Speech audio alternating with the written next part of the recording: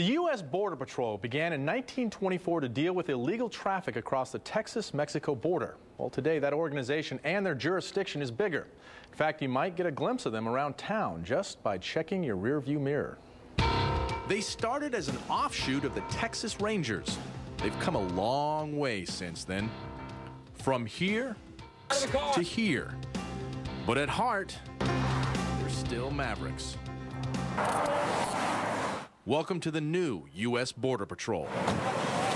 We don't know how long they've been here. We hadn't asked them how long they've been here yet, but they've already said they're from Mexico. Um, they don't have any passports or documents to be here. No longer limited to the border. The New Orleans sector includes Lake Charles, Baton Rouge, Gulfport, Mobile, and New Orleans. New locations, same purpose. We are a, uh, coastal sector in the patrol. Uh, our purpose in the Border Patrol is to collect intel from the aliens that we are catching from the southwest border. And it's hands-on work. Uh, I didn't get a very good look at it. I'm going to just try and catch up to it, look at it again.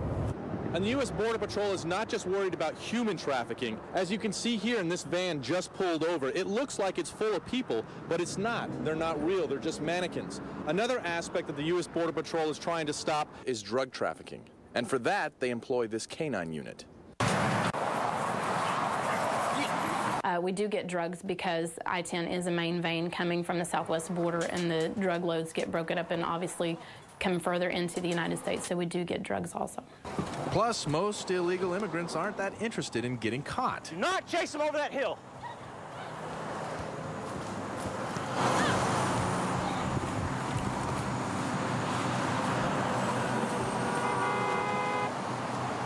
Nada. These guys, not so lucky.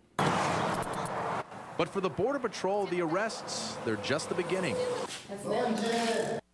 Uh, as soon as we catch an illegal, we bring them to our station, to our processing center, and there we will get all of their biographical data. Oh, it's more than that. That fingerprint machine is linked to databases used by the FBI and DEA. Any warrants out there, and the agents will know in minutes. Since 2002, the U.S. Border Patrol has come under the jurisdiction of the Department of Homeland Security. So it's not just important to send people back across the border, it's also important to gather as much intelligence as possible.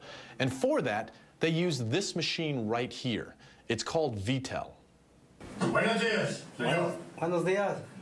With this video conferencing system, the agent can be physically located on the border while at the same time interviewing someone thousands of miles away and gathering much needed intel. You know, where they crossed, uh, see if we can pinpoint exactly exact what region or you know what canyon even uh, that they crossed in. Pretty much any information that we can get that would be pertinent to help those agents out on the southwest border. It's all in a day's work because, like it or not, drug trafficking and illegal immigration are not going away from our area anytime soon.